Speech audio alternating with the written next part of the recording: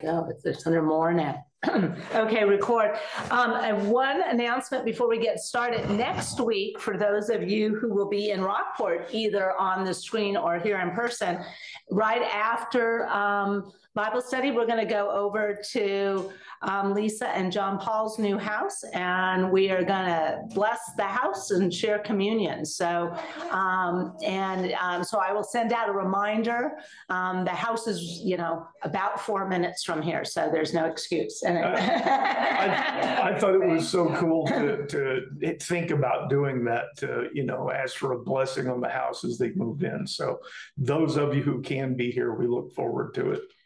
Okay, so we are on um, the study of Matthew, week 13, chapter 13. and last week, um, where we left off, remember there are five sections in Matthew. We're at the end of section three, which is chapters 11 through 13, where Matthew is telling us about people's reaction to Jesus. Some believe in what, that he's the Messiah, some question whether he's the Messiah, and some out and out do not believe he's the Messiah.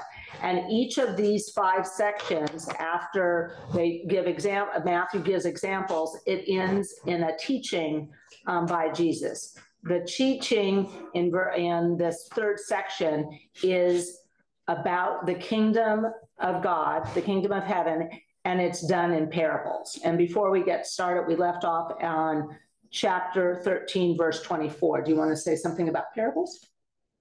Well, yeah, you know, I, I will say one thing parables are a way of teaching uh, that's not straightforward. This isn't uncommon within with rabbis. There are a lot of techniques uh, that require the the listener, the student, to actually think a little bit instead of just spoon feeding. They also tend to put things in a context that the listener understands. So a lot of his talk about sowing seeds, well, they know about sowing seeds. And and at least one of them today talks about fishing because this is on the Galilee and a lot of those people fish. So it's designed to to to make it real. Once the message comes through, that association helps it become real for the person listening. But do keep in mind, if you would, there's a difference between a parable and a, a and all of something uh, analogy. Not a not an analogy, but a, a. Allegory, People, an allegory, these extended things where every little item in the story is significant. It, it, signifies something. I'm suspicious of allegories in general. I think the readers tend to find it because they're free to just make stuff up. But they do that with the parable of the Good Samaritan.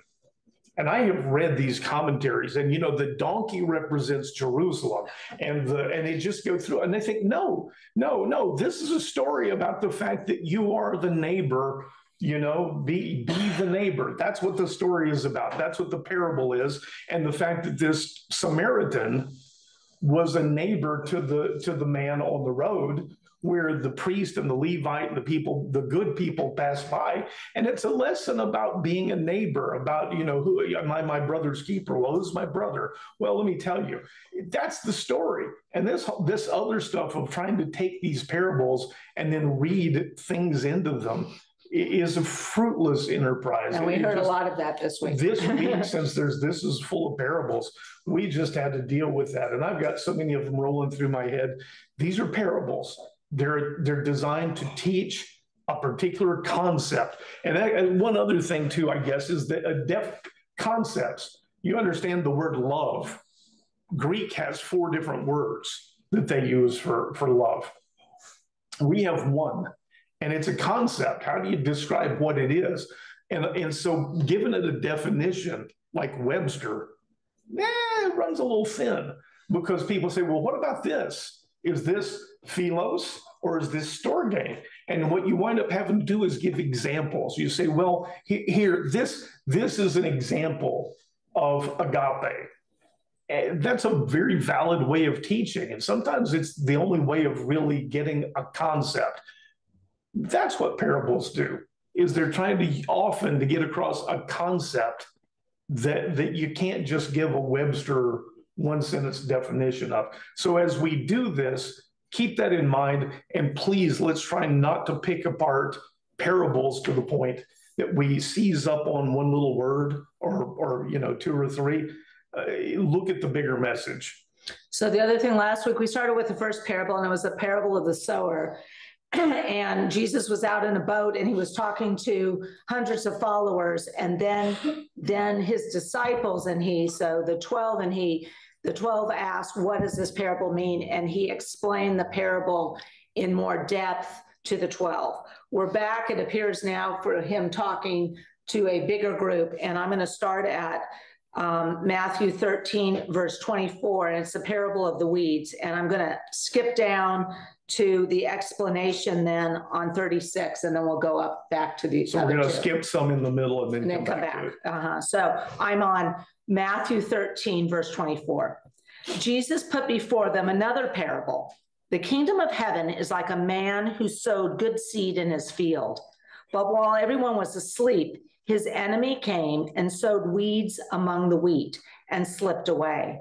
When the wheat sprouted and bore grain, then the weeds, weeds also appeared. The owner's servants came to him and said, Sir, didn't you sow good seed in your field? Where then did the weeds come from? An enemy did this, he replied. So the servants asked him, Do you want us to go and pull them up? No, he said. If you pull the weeds now, you might uproot the wheat with them. Let both grow together until the harvest. At that time, I will tell the harvester first collect the weeds and tie them in bundles to be burned, then gather the wheat into my barn. And now I'm going to skip down to verse 36. Then Jesus dismissed the crowds and went into the house. His disciples came to him and said, Explain to us the parable of the weeds in the field. He replied, The one who sows the good seed is the Son of Man. The field is the world, and the good seed represents the sons of the kingdom. The weeds are the sons of the evil one, and the enemy who sows them is the devil. The harvest is the end of the age, and the harvesters are angels. As the weeds are collected and burned in the fire, so will it be at the end of the age. The Son of Man will send out his angels, and they will weed out of his kingdom every cause of sin and all who practice lawlessness. And they will throw them into the fiery furnace, where they will be weeping, where there will be weeping and gnashing of the teeth. Then the righteous will shine like the sun in the kingdom of their Father. He who hears, let him hear. His ears. I'm sorry. So we're going to talk about some stuff today that's probably going to hurt some people's feelings. I don't know any way around it.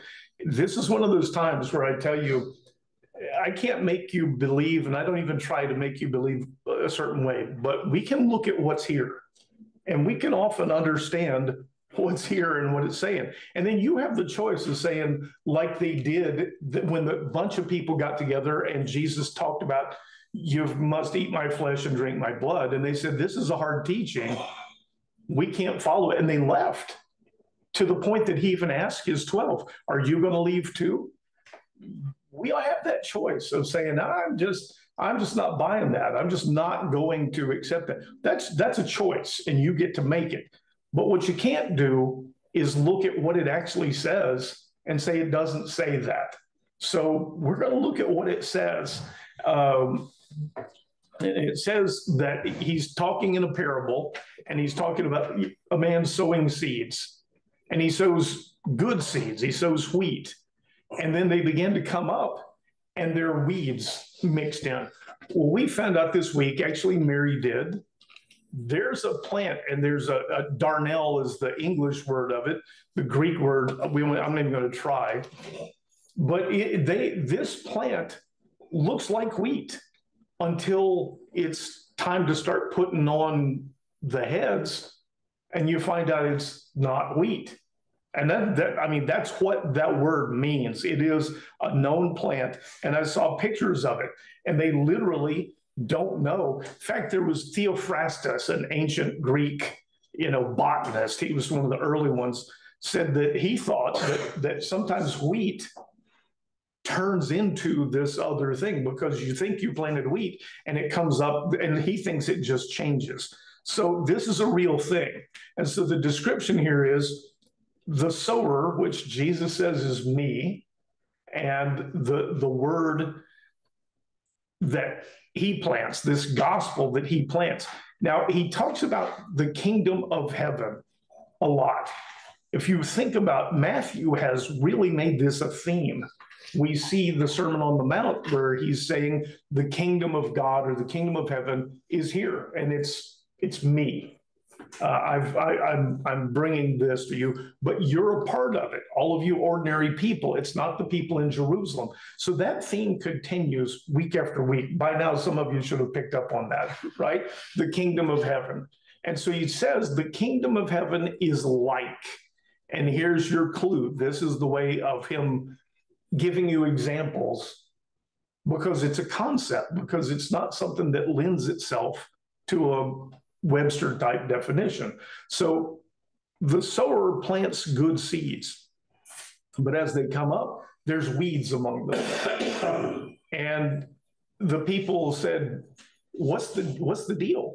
You, didn't aren't, aren't you good? Don't you plant good seeds? Where do these weeds come from?" And if you don't mind, Gene, we talked about the Middle East this morning and the idea that that you know God is certainly not happy with this how does he allow? I hear that often. Why would God allow this to happen? And the fact is, he doesn't show any signs of ever turning us into sock puppets.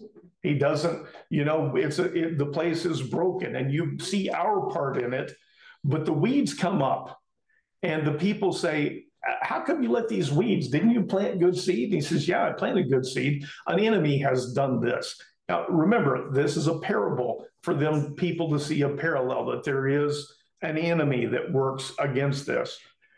And when they ask for an explanation, he tells them, I'm, I'm the sower. Uh, and the goods, the, the wheat are the people who are a result of the good seed. They've heard the gospel. says the others, they're the children of The the, the enemy. says the. Yeah. And and so, you know, this can't be much clearer. You see what's going on. But let me tell you, I'll, I'll give you, and, and the problem is they then say, well, do you want us to go weed them out? Let's go get, there's your Middle East. Yeah, Larry, you got the, that's exactly right. I mean, do you want us to go wipe out all the bad seed? We can, we can cure this for you. There's a point where, where James and John uh, there's a town that has, you know, rejected them. And they asked Jesus, well, do you want us to call down fire from heaven on them? Do you want us to, you know, I mean, we got this this power going. Do you want us to do that? No, I don't think any fire and brimstone is going to be necessary today. Do you want us to go pull up the weeds? And he says, no, because to do that, you'd wind up damaging the wheat also. Let me make this in another way within churches, within the kind of church that we think of that is a building. Um, there are people that go to church for I don't know why sometimes. I was in we were members of a church and and there was a leader and I'm not going to say what they called the leader because that would tell you the denomination but he's one of the big leaders, you know, that that gets set aside. And I was talking to him about something, and he goes, "Whoa, hold on, stop, hold it." He says, "I'm just going to tell you, I don't believe any of this." what? He says, I don't believe any of this. He says, I think, you know, going to church makes us better people. It, it you know, but he says, I'm, I don't believe any of this stuff. And that sort of puts, puts a crimp in the conversation but he's one of the leaders. He's one of the people that is is you know ordained kind of thing, right? I don't believe any of it. That to me is about as clear of an example of wheat and tares or wheat and, and darnel as you can think of. They're sort of indistinguishable. If I didn't have that conversation with him, I might not have known. Yeah. And the thing is, what do you do when you discover that? Do you say, well, you got to go? I mean, I'm going to go, I'm going to go contact the, Tell you know, the, the, the, the group of leaders and say, this one's got to get, no, because you do that and it's going to damage the whole field. It's going to damage everything. The, the, they're too intertwined. So he says, just leave them there. Just let them grow. And there's going to come a time when the harvest comes and it's going to be pretty obvious. Well, now that, you know, Mary found this and I understand, it becomes pretty obvious when it's harvest time. Some of the plants have got heads of wheat on the top and some of them don't. And he says, I'll take care of that. I'll send, he uses the word angels, but I will send these angels and they will first gather the weeds and bundle them together and toss them into the fire to, to be consumed. And then the other ones will shine like the sun in the kingdom of their father. Now, that speaks to a separation, and that offends people. And that's one other point I want to make. I've told you several times through this study about a word, scandalon, right? Scandalon is the stumbling block. It is the thing that often causes people to stumble and fall away. Just like when he said, You have to eat my flesh and drink my blood, that was a scandalon. And they said, Yeah, we can't follow anymore. And this concept will be a stumbling block for people, but it says what it says. You can say, I don't think that happens, but it's, and this is not the only time in this group that he's going to say this. So, you know, brace for it. But it, he says that, that as he does the explanation, I'm going to skip down to this real quick. Uh, at the end of the age, and Mary said, when is that? Because at the end of the age, I'll send my angels and they're going to separate these and, and there will be a, a separation. And she says, when's the end of the age? I lived with that this week as we studied because people talk about the age of uh, what Church. the church, the dispensationalism. They have all these. I mean, they have a calendar for what age we're in and everything. And I'm again, I'm just not that confident to know. I know that the end of the age says there's going to be a time when this stuff is going to get put right. And I say fairly often, I sometimes think it's my job to set things right. And I have to remind myself that Jesus came and and he he gave us our marching orders. He made us a part of it. He he atoned for us, but he didn't set the whole world right. He said there's going to be a time I'm going to come back and this stuff is going to get straightened out. Yes? I mean that's that's what we read. But but for right now, the weed and the weeds are going to grow together and and your job is not to to to root them up so there's there's you'd ask about my stance on the middle east there's part of it mario that's that that you know it's it's not going to be our place to set this right. Uh, I, I do think though also keep in mind i try and convince you that through this ministry jesus is teaching the people but he's especially specifically preparing the 12 and others, but explicitly 12 for their place after he's gone, after he dies and is resurrected and, and leaves it to them to spread the gospel. And so you think about what this message conveys. He has a special explanation to them. They're going to be going out spreading this gospel, this good news that he has given them to, to carry. And they're going to see exactly this. They're going to see places where one of the, the leaders of the church says, I don't believe any of this. And what are you supposed to do about it? Well, you know, you're going to let them grow together. I'll take care of it, you know, down the road.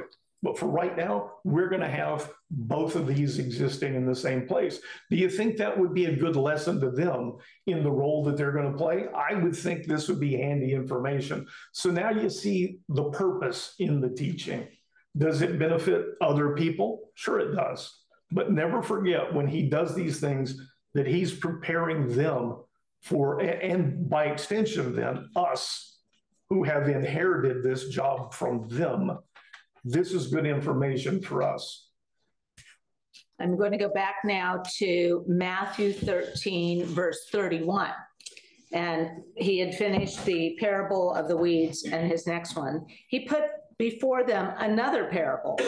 The kingdom of heaven is like a mustard seed, a mustard seed that a man planted in his field. Although it is the smallest of all seeds, yet it grows into the largest of garden plants and becomes a tree so that the birds of the air come and nest in its branches. So here's another fun one. We, as we study, we read a lot of commentaries, we watch sermons and stuff. And, and we actually heard somebody make an issue out of the fact that mustard seeds are not, in fact, the smallest seed. so Jesus was wrong. I mean, seriously. We, and then they then the, then they corrected themselves, or then they said, but at that time, it. oh yeah, they slice and dice these things to the point. It is a it is a very, very small, small, seed. seed. Got it. And the point is that from this tiny small seed, this plant springs up and and it grows to the point. and, and a mustard plant is like a crepe myrtle a crepe myrtle is a bush it's not a tree but you let it grow and it looks like a tree uh, okay you know people make a big deal out of the difference between dolphins and porpoises and i think i don't know they're those big things that blow the air out and we know who, what you're talking about a, a mustard plant is a big bush, but it turns into what looks like a tree. And they grow them, they harvest them. I learned a lot about mustard plants this week. they grow them and harvest them here too. There are four different varieties. anyway, so this small this small seed that takes root, and remember, he's talked about seeds that fall on the the, the rocky ground and they fall on the the hard pack pathway and they fall in the good soil this is right in the same area. We, we see sort of the, the connection, but this seed that the 12 are going to be taking his words, his gospel, his message, and it's going to grow. And, and it's going to turn into this, this tree, and the birds of the air are going to come and make it's going to provide comfort and, and safety and shelter for people. There are people who take this one and they say, you know, in the Bible, birds are always evil. okay, so what are you saying? You're saying that there's a seed that's going to get planted and, and evil things are going to live in it. And that, well, what if that were true? What would that message be? What what lesson would that teach us? Do, do you do you see a problem with that? So uh, you probably aren't that interested. I mean, because you don't put up with all these people. But the point is, the point is, this is a fairly simple teaching. And if you're going to be the 12 or any of these other people who wind up taking this gospel after everything comes to fruition, they take it and begin to plant those seeds, that you're going to see that from this very small beginning, it sprouts and it grows and it becomes this thing that people will take comfort and safety and shelter in that it's going it's a beautiful thing. It has a purpose. It's pretty simple teaching. It's a parable verse 33 he told them still another parable. The kingdom of heaven is like leaven that a woman took and mixed into three measures of flour until all of it was leavened. It's a one sentence parable. It's a thing they all know. That's what happens when you when you bake bread. You mix in a little bit of yeast and it it spreads through the entire dough and everything is then is exposed winds up being exposed to the leaven to the yeast. And you see his teaching the kingdom of heaven is like. So these seeds that you plant this gospel that they're going to be taking is going to be like yeast that gets mixed into flour and suddenly you know it permeates things. There are two parables in a row that seem to deal with the idea that this is going to grow. This is going to start with a few of you, and it's going to grow into something very, very important. I don't see it being that tough. Did you know that in the Bible, leaven always means sin? Oh, this is what we put up with on these parables this week, and they go through. The, I mean, this whole thing. It's pretty clear what he's what he's saying, and you put those two parables together, and you see this idea that the twelve are going to get that their place in things, they're going to begin the spread of the gospel, but then it's going to get carried out and carried out and carried out, and it's going to spread around the world. And that's a preparation, I'm convinced, once again, for them, for the ones that are the the you know the early adopters. They say, but these are the first people that are going to be coming and spreading the gospel. And he's teaching them, he's preparing them for what's going to happen. Isn't he also teaching that you may be the carrier of the seed or the living, but it's really out of your hands. Well, It just, is from above. And you're gonna get all kinds of audiences. And it's gonna grow. Really, whether you preach it every day or not, it's gonna grow in and of itself. We certainly have a place in it. They certainly had a place to make it No spread. It is, that. it is without question, though, it's not our seed, you know, it's not our word. And, and, and our place is to, you know, is to broadcast it. Uh, and we do have a place and it's important to remember that we have a place, but it's not, it's not ours. Yeah. And you were gonna, s- Now, correct me if I'm wrong, so what's the issue with leavened bread? Because you're always told not to eat leavened bread. Well, okay, so, so what, what happened was when the, the, what we know as Passover, when the, the Jews are being, uh, led out of Israel, out of captivity, Out of Egypt. out of Egypt, they, this has happened very, very quickly. When it finally reached a point that Pharaoh said, okay, go, they're gonna have to leave like overnight. This is like somebody who hasn't paid the rent. They gotta get out now, right? So what they were told is leavened bread, and we learned this living in Israel, that we have preservatives in a lot of stuff that we, that we eat. They don't put preservatives in their bread. And you go get brand new fresh bread at the market, and like a day and a half later, it's green. Leavened bread goes bad much quicker. So what they were told to do was to take the flour, take the, you know, dough with no yeast in it. Prepare for this trip. You don't want any, you don't want any yeast in there. And so every year when they celebrate Passover, they actually have a time where they go through the house and get rid of anything that that has is leavened, anything that, and the kids, and they look for little specks. It's sort of a, of a ritual that they go through. But but that about leaven then was a very specific thing that they were to have. They're essentially making crackers, you know, it's flour and water and, and no yeast. And then they were told to commemorate that, to never forget that God delivered them from Egypt. And so part of that commemoration that they were really told was to make this bread like the bread that they made on the road, this unleavened bread. So, so it's not a sin thing of never eat bread that has leaven. That's a part of their Remembrance. Jewish remembrance they were instructed to do. So the two things are not necessary, but they do know leaven. The, the Jews that he's talking to do understand that a little bit of yeast goes a long, long way because it spreads. Does that make sense? So wasn't it an issue when, when the Jews were in the desert and, and God kept, kept feeding them, not, that they were making, kept feeding them manna, Yes. and then they got tired of manna, and they didn't want manna anymore. Uh, I'm just, I'm not trying to tell you that sin, uh, that, that leaven is sin, but to me, it, it maybe erroneously connotated, uh, contamination. It, You know- does, it does in certain instances, and this is the thing with parables.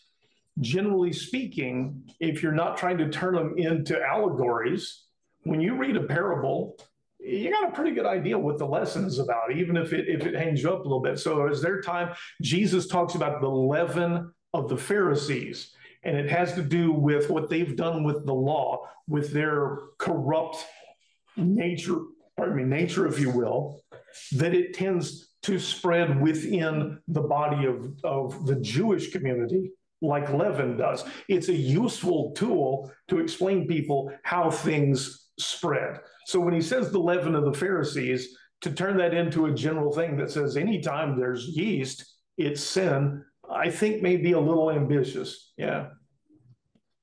Um, verse 34 Jesus spoke all these things to the crowds in parables. He did not tell them anything without using a parable. So was fulfilled what was spoken through the prophet. I will open my mouth in parables. I will utter things hidden since the foundation of the world. And that is from Psalm 78 2. Yeah, it's a, it's the words of, the words of David, and it's generally considered to be messianic. Uh, as uh, you know that that he is actually prophesying about the Messiah, but I love the the idea that he's talking to them in parables, and he often says, "He who has ears, let him hear." You know, not everybody is going to understand the parable. Just just the way it is. It's another one of those things that offends some people, but it's the way it is. But I do love that he quotes that place from from Psalm from David, where he says that I will uh, reveal things, utter things hidden from the foundation of the world. I mean, he's say, telling some very deep concepts to people. And the people who come seeking, the people that, that you know, their eyes are open, understand it, but not everyone does. Then um, I'd already read 36, so it started with then Jesus dismissed the crowd, and then he explained the parable of the weeds. And then we're going to start with another parable. One of the things that always was a, a, a confused me to begin and before was it you know is the crowd there isn't the crowd there but remember matthew doesn't necessarily write in chronological order so you know what what he says is that he did explain the parable of this of uh, the weeds just to the disciples. So these next three parables we're going to read, we don't know if it's in front of the big crowd or or just the disciples. We don't know. I, I will right? say that that it's also important to remember on the parable, and they they don't understand it fully. And he explains it to them. Just because somebody hears the parable and doesn't understand it, often what happens with these kinds of teachings is that somewhere down the road, something comes to us and the light goes on. And we go, oh, wait a minute. That's what that is. And, and I believe that we get understanding at times when we need it that that you know when it becomes important the fullness of time. But there's also the fact that i'm sure the 12 explained this to other people later on. They said oh yeah you know you remember this teaching? Well he told us let us tell you. And that comes back to our place in this that we have a role we have a place and it may well be our place to explain a parable like this to someone that says, you know, I'm really struggling. There's a point later on, the Ethiopian man who's traveling, he's been to Jerusalem and he's going home. And God sends Philip, go out and meet this guy. And he's reading from the scriptures, he's reading from Torah. And Philip says, Do you understand what you're reading? And the guy says, Not really. He says, How can I understand it if there's nobody to explain it to me? And Philip hops up on the chariot and says, Well, let me tell you. It's funny you should mention that. That's sort of what I was sent here for. We do have that role, and, and we are often sent people. They come into our lives for a reason. And to shy away from that probably is missing an opportunity that we're put here for. So just because I say that people hear a parable and don't understand, it doesn't mean that they never understand. And it doesn't mean that it can't be our job to, to explain it to them. Verse 44 The kingdom of heaven is like treasure hidden in a field. When a man found it, he hid it again. And in his joy, he went and sold all he had and bought that field. Again, the kingdom of heaven is like a merchant in search of fine pearls. When he when he found one, every when he found one very precious pearl, he went away and sold all he had and bought it. So here are two the kingdom of heaven is like. They're parables, and he's trying to get across a concept. And so there are a lot of elements to understanding what this kingdom of heaven is. And here's one where he describes two different situations where somebody sees this treasure and sells everything for, let's go of everything else to attain it. There's one line in here that hangs people up. The theologians just, just beat it to death. I'll get back to it. But you see in both of those, somebody who sees this treasure that the kingdom of heaven is like, and it is so precious, it is so important that they set aside everything else in order to attain it. One of the things we should get from this is neither of those two people would be able to attain or to acquire this treasure without putting other things aside. They literally have to go mortgage the house, you know, if that's what it takes. And and this teaching here is about the fact, and if you think about the 12, they're going to have to give up everything. They do, in fact, give up everything. Uh, I, John's the only one that lives to a ripe old age. The other ones get get you know killed over it. So so that's what he's saying that this the kingdom of heaven that I keep telling you about. When you see it, when you really recognize it, is something that is so important that people will lay aside. They will give up all these other things that have been in their lives to be a part of it. There's one line in there where the guy sees the treasure in the field that says he hid it again. And, and that one thing, you know, well, that seems dishonest and that seems like you're mis- misleading. And okay, probably Jesus was teaching you that in order to be a part of the kingdom of heaven, you have to be misleading and dishonest. I think that was probably what he was getting at. It, it's part of a parable. They certainly would would understand in fact, you find out part of their culture, people like winning the lotto, they have this dream of being out acquiring land and finding copper or finding salt or finding something of value that suddenly they're rich. Mm-hmm. And the idea that if you find it, I don't know why that's thrown in. I'm going to be real honest a bit about hide it again. I mean, I, I've been over it and over it. But if you if you went in to buy the field eh, and you knew and, and you they could see it i don't think that's part of the teaching. It's disturbing. I wouldn't let it hang you up because you see the purpose of these two that the kingdom of heaven is going to be something that people will see as being so precious and they set aside other things in their life to be part of it See, what I thought they were going to say is that he, he gave up everything about the field, but he forgot where he hid it at. He forgot where he hid it. Well, that sometimes happens. That's, you know, maybe we should put an addendum on here. It does sometimes, it does sometimes happen. But if we put that in context, it's not the pearl itself until you see it and believe it. Then, then you're voluntarily will give everything up you do see in these two examples one person who just sort of stumbles onto the treasure. He's out in the field and stumbles onto it. Maybe some rain, whatever. It but not have but been his field. It, just a work. Well, he had to buy it, so clearly it wasn't. He just he's he's going through, and there it is. And that is the way some people come onto the kingdom of heaven. And then the next guy is a merchant who's out looking for pearls. He's looking for something. He's seeking something, right?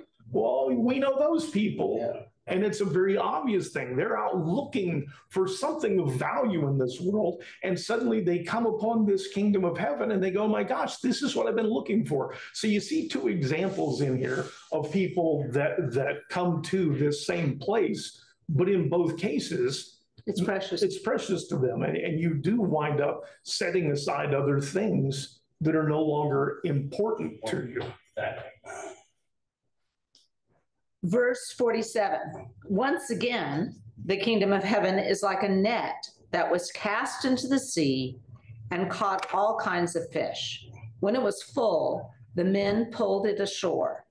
Then they sat down and sorted the good fish into containers, but threw the bad away.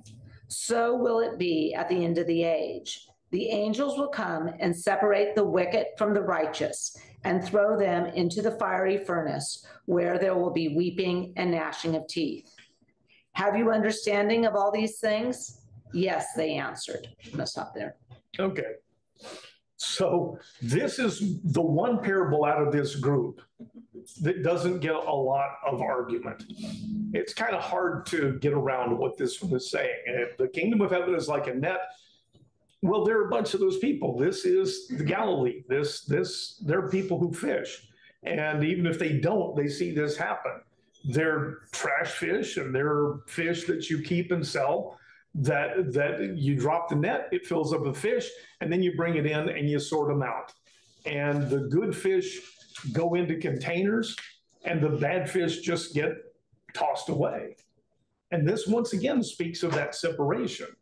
Now, as I said, this one doesn't seem to get all the argument. What I found disturbing studying and reading commentaries about this parable is the number of people who seem to take great pleasure in the idea that some are going to get some are going to get cast out. And you, they just have these big grins. I mean it's almost like yeah and they're going to get what they have coming. And i'm thinking the one thing that i have learned to avoid is hoping that people get what they have coming because i don't want to get what i have coming and they seem to take they get these big sharp grins you know when they talk about how it's the net and the bad fish are going to get tossed the good fish are going well that's what it says for starters there's not much discussion about whether or not that's what it says. If, if it offends you, that's a different, that's a different issue. But he says that, that um, he is the, well, let me see if I better, I want, to, I want to get it right. At the end of the age, again, at the end of the age. So just like, just like uh, the fishermen who, who cull through the, the, the, the good ones and the bad ones, at the end of the age, the angels will come, and this sounds just like the other parable, Right. and will separate the wicked from the righteous and throw them into the fiery furnace where there'll be weeping and gnashing of teeth. And I realized I missed an opportunity back when he's telling this same thing back at the other, the parable of the weeds and, and the wheat. And if you don't mind me skipping back for just a minute. Yeah. Um, the parable of the weeds, he says at the end of the age, They will gather the weeds. and all of a sudden, I'm, oh, that's when he's explaining, it, he's explaining it to them that, that, uh, I'm going to go back to verse Forty. 40, 41. The, at the end of the age, the Son of Man will send out his angels, and they will weed out of his kingdom every cause of sin.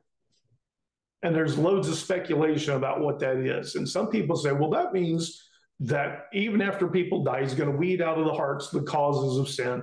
Ugh. Do you remember three times now I've told you about a word, scandalon, the stumbling block? Well, if you read the original, it says he will weed out of the kingdom every scandalon, every stumbling block, everything that causes people to trip and fall, to fall away. The snare, the fact that scandalon is there's a snare and there's a stick that holds it up the, the, that's baited. So when the animal touches the stick, the snare falls on him. He will weed out of his kingdom every scandalon, everything that gets in the way that causes people to fall away. So it's a it's a concept that comes up over and over and over again about the stumbling block, about the things that get in our way that cause us to say, you know, I'm, I'm sorry, I, can't follow that. That's a hard teaching. So, so this idea that he says that he's going to separate the fish, and at the end of the age, the, the angels will come and they will separate out. This is going to get taken care of. I don't know any way to, to say this other than Jesus talks about a separation at the end of the age. And I know people who, who believe, how do you like me now? Who I said I was going to say that this week, who believe that it's like it's like the that old Disney thing, all dogs go to heaven, right? That that certainly God would not cause this separation. That eventually everybody figures it out. It just after they die, they get they get a chance. That that um, there's a some people believe in a place called purgatory, where after we die, we go there where we're purged of all of these sins that we've amassed. Okay. Suppose for a minute that that's true. Suppose for a minute that, that somewhere, even though I can't find it, it's revealed that, that this is the way. If that were the case, if I could go and, and ask God to explain to me or someone exactly how this works, and you determine that that it doesn't matter what I do. All dogs go to heaven.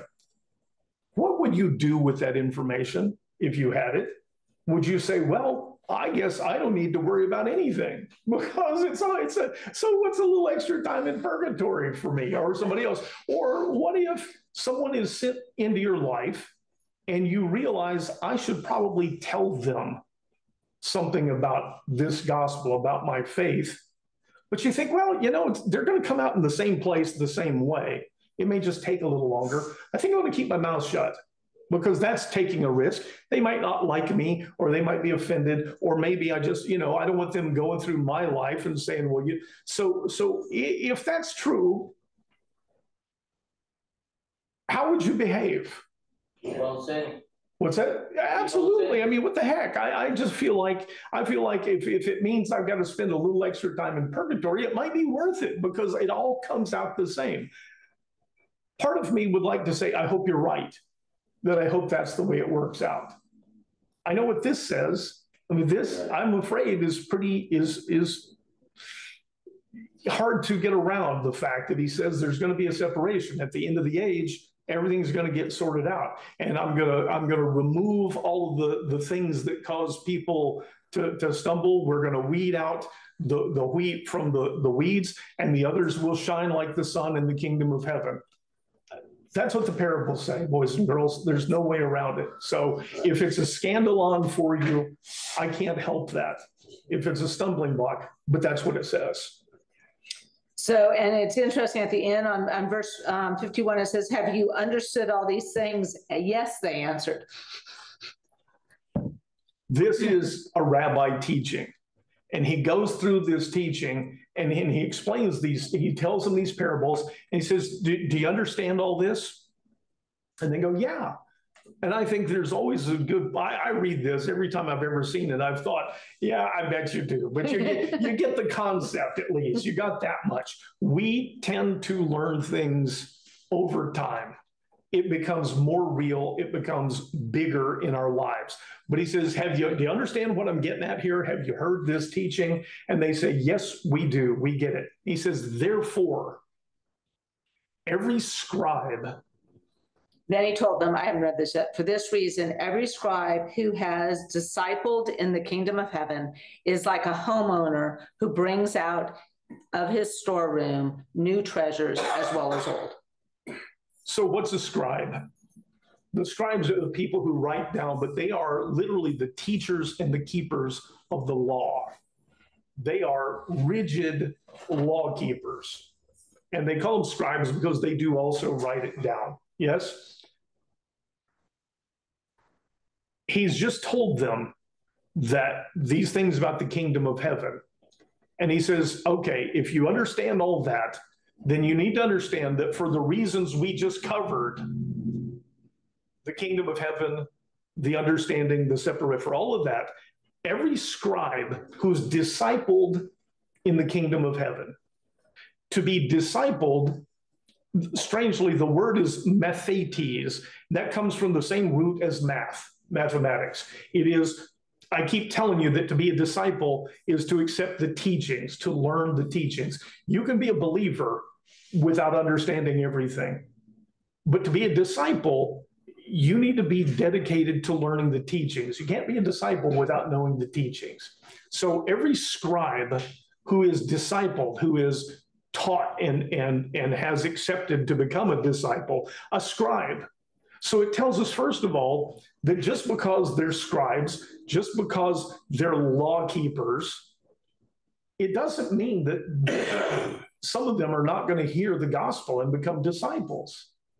And a scribe, someone who is a teacher of the law, is going to become like a homeowner that reaches into his storeroom and pulls out new things as well as old. The law doesn't go away They don't quit becoming scribes. They don't quit become they don't quit being students of the law.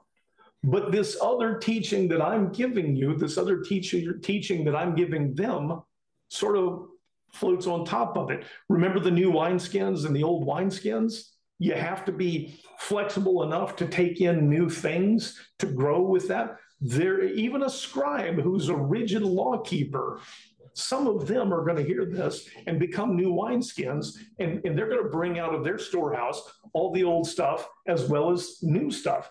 What's wrong with the law? What's what's the flaw in the law? It can be can be upheld. I mean, human in human terms. You know, you're right. You're right. And I don't want to be somebody who says, ah, oh, no, that's not what I'm looking for. I mean, you're correct. It can't be upheld. But the fact is, there's nothing wrong with the law. The, place where he says, You've heard it said, Thou shalt not kill, but I tell you, if you've thought in your heart about it, you're just as guilty. There's the difference. The law is about doing, his teaching, the gospel is about being. It's about the heart. It's about who we are and who we become. And so a scribe can still carry around all this stuff about the law, and it's not bad. Thou shalt not kill, really? I mean, that's, but what Jesus says is that was only the beginning. That was that was to bring us to the point that you will you will understand the rest of this. It points out our sinfulness and the fact that we need we need this atonement. We need what he brings. But it's an interesting thing that he covers at the end. Does this remind you when I keep telling you that he's preparing the 12? Because the tendency would be to say, these people who are all rigid and part of the law, we don't even need to bother with them. Right? I mean, they're they're gone. They're they're they're stuck in their ways. They never hear us. We're going to ignore them. And he's just told them at the end of this big long teaching that the scribes who hear and become disciples are still going to are still going to talk about the law but with that they're going to bring out of their storehouse of knowledge these new things the kingdom of heaven is here and it's for you and it's the same message it's the same message over and over again but i think he's also saying it's one book old testament new testament the prophets I came to fulfill. The law I came to fulfill. So, guys, learn your history. All those guys have a shot at it. We saw a lot of stuff improve. It failed. So I'm coming. I'm here, and it's for you too, not just for the Jews. So come on here and think and believe. Don't kill, don't steal, don't commit adultery. Keep up with those things. You know, it's it's a good that's a good place.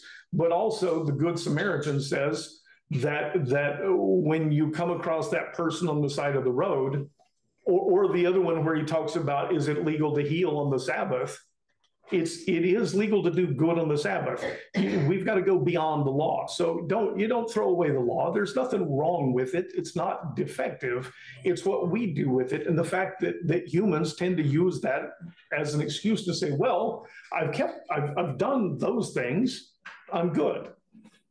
That's what he's teaching. Yes, yes. And it's time. It's past. So, so next week we'll finish the, the last paragraph or two of verse thirteen, of chapter thirteen, and then we'll go into the fourth section of, of Matthew.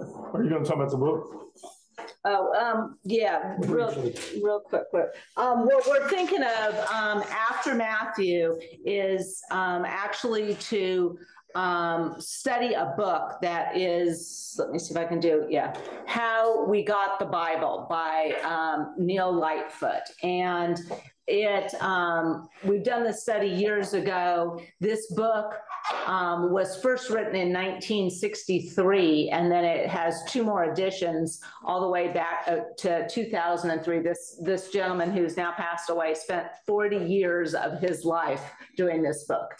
And um, and the purpose of this book is not to debunk the Bible at all. This purpose of this book is to give you the assurance. Well, his wasn't to necessarily affirm it either. He went out on a, a thing because we asked how how dependable are these scriptures that we use, how authoritative? I mean, can we really rely on that? And what's surprising is that, you know, after going through it and understanding, it's, and, and if you object, if, if a lot of you object to the idea of not teaching directly from the Bible, We this is about, we won't, we'll, we'll move, we'll find something else.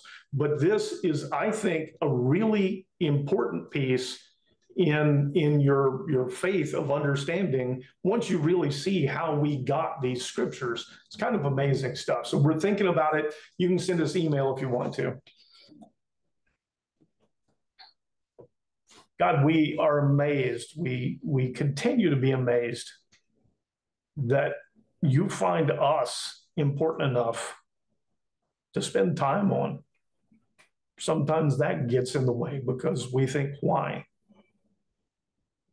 But we see in these words that were left, in these accounts of the stories, the parables that you told, you see this amazing plan that you've made for us, this chance that we have for a life more abundant. And we're thankful for it. We are amazed at it. If I could ask one thing today, is that some of us would find in studying this, in seeing these, the importance that we have, the place that you've made for us to be a part of this, and to be less timid about sharing it, uh, about explaining it, about being there for, for others who need it. As always, be with us this week. Give us the eyes to see those that you put in our path. Give us the heart to be able to watch the news and what's going on in the Middle East and not lose hope.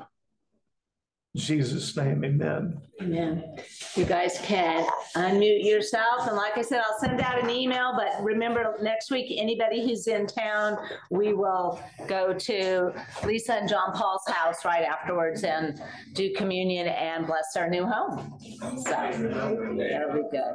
Nothing There you go. You guys have a wonderful week. Bye. One, for your uh, leader who uh,